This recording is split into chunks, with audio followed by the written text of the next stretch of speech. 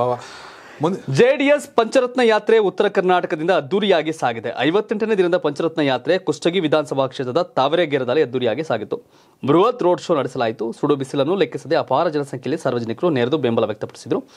ನಾನು ಹಮ್ಮಿಕೊಂಡಿರುವ ಪಂಚರತ್ನ ರಥ ಯಾತ್ರೆಗೆ ಅಖಂಡ ಬೆಂಬಲ ನೀಡಿದ ಜನತೆಗೆ ಅನಂತ ಧನ್ಯವಾದಗಳು. ಕ್ಷೇತ್ರದ ಜೆಡಿಎಸ್ ಅಭ್ಯರ್ಥಿ ಶ್ರೀ ತುಕಾರಾಮ್ ಸೂರ್ವೆ ವಿಧಾನ ಪರಿಷತ್ ಸದಸ್ಯ ಶ್ರೀ ಭೋಜೇಗೌಡ ಮಾಜಿ ಸದಸ್ಯ ರಮೇಶ್ ಗೌಡ ಸೇರಿದಂತೆ ಇನ್ನೂ ಅನೇಕ ಮುಖಂಡರು ಹಾಜರಿದ್ದರು. ಈ ಎಲ್ಲ ಜನ ಎಲ್ಲ ಕಂಡು ಕುಮಾರಸ್ವಾಮಿ ಅವರು ಭಾರಿ ಖುಷಿಯಾಗಿದ್ದಾರೆ. ಖುಷಿಯಾಗಿದ್ದಾರೆ.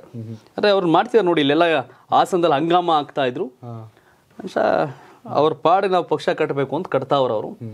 ಸೊ ನಾಟ್ ಓನ್ಲಿ ಹಳೆ ಮೈಸೂರು ಭಾಗ ಉತ್ತರ ಕರ್ನಾಟಕ ಭಾಗದ ರಾಯಚೂರು ಯಾದಗಿರಿ ಕಲಬುರಗಿ ವಿಜಯಪುರ ಈ ನಾಲ್ಕು ಜಿಲ್ಲೆಗಳಲ್ಲಿ ಜೆ ಡಿ ಎಸ್ ಅಸ್ತಿತ್ವ ಇದೆ.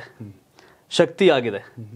ಆ ಭಾಗದಲ್ಲಿ ಹೋರಾಟವನ್ನ ಮಾಡ್ತಾ ಇದ್ದಾರೆ. ಕಟೀಲ್ ಹೌದೌದು. ಮಾತಾಡ್ತಾ ಹೇಳೋರು. ಬಿಜಾಪುರದಲ್ಲಿ ಹೋಯ್ದೈತೆ ಯಾತ್ರೆ ಹಾಸನದಲ್ಲಿ ಪಂಚರ್ ಆಗೈತೆ. ಹ್ಮ್ ಯಾರು ಯಾರು ಹೇಳಿದ್ದು? ಕಟೀಲ್ ಕಟೀಲ್ ಹೇಳಿ ಕಟೀಲ್. ನ ನಾವೇನು ಸೀರಿಯಸ್ ಆಗಿ ತಗೋಬೇಕಾದ ಏನ್ ರೇ ಶಿವು ಒಬ್ಬ ರಾಜ್ಯಾಧ್ಯಕ್ಷ ಮರ್ಯಾದೆ ಕೊಡಲ್ವಾ ಅಂತ ಕೇಳಕ್ ಹೋಗ್ಬೇಡಿ. ಒಂದು ಕೌಂಟರ್ ಕೊಡ್ಬೇಕು. ಯಡಿಯೂರಪ್ಪ ಮಾಡೋ ಆರೋಪಗಳಿಗೆ ಐ ಅಗ್ರಿ ಎಸ್ ವಿಪಕ್ಷ.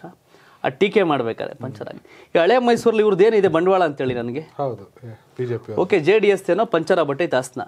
ನಿಮ್ದೇನಿದೆ ಅಲ್ಲಿ? ಹಾಸನ ಸಿಟಿ ನಿಮ್ದೇನಿದೆ? ಏನಿಲ್ಲ.